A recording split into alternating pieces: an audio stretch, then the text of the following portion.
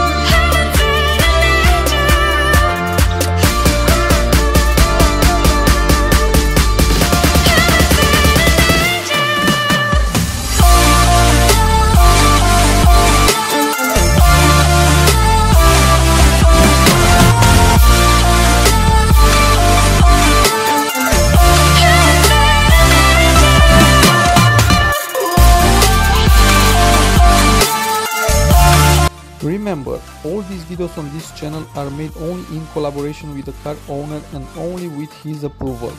So if you have a project with your car and you want to show that project here on this channel, you will find in the description all you need to contact me.